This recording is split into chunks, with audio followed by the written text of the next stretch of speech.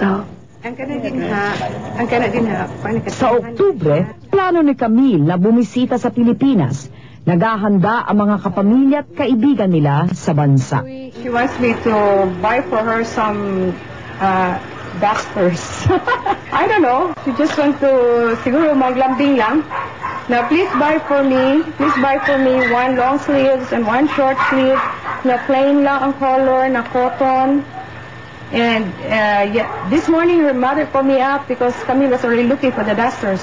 Well, I was planning to take her to Camiguin because it's, it's a nice place. Then it's a lot like Maui and she she also loves the tropics, so I plan to take her there. Mama Rennie told us kasi na, ano, yun nga, baka pupunta sila. And then, the only preparation lang siguro, yung welcome party. And then, marami kasing may gusto kay Camille yeah, sa, sa school namin. Welcome party. with the fans here. Keep it positive to balance all the opposites. Mas maliwanag na ngayon kay Camille ang direksyon ng kanyang buhay. I really want to go back to school and uh, learn, just learn about music.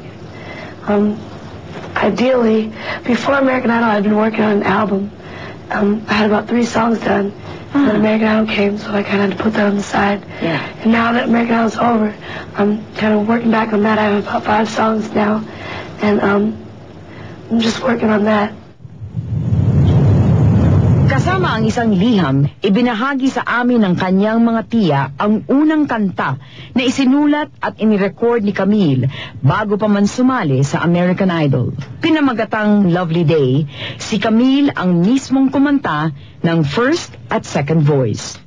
You brought the sunshine in my life, and now I've got a joy divine. Your love that came and changed that day, and now I'm glad to go your way, your way, your way, your way.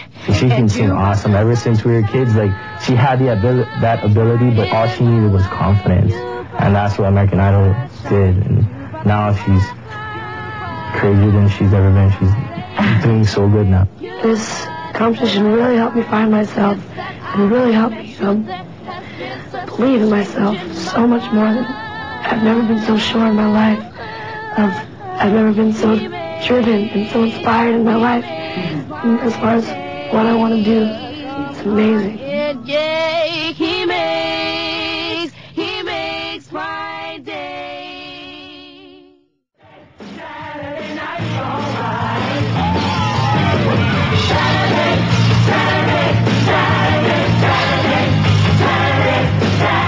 Sa huling araw ni Camille bilang isa sa top 12 finalists ng American Idol, nakasama niya sa entablado ang isa pang Filipino-American, si Jasmine Trias.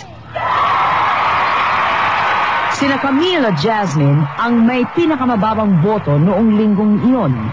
Isa sa kanila ang kailangan magpaalam. The person leaving us tonight on American Idol is Camille Velasco. Safe. Walang bahid ng galit na tinanggap ni Camille ang hatol ng Amerika. Mahigpit na yakap ang iniwan niya kay Jasmine na siyang nagpatuloy ng pagdadala ng bandera ng mga Pilipino sa larangan ng musika.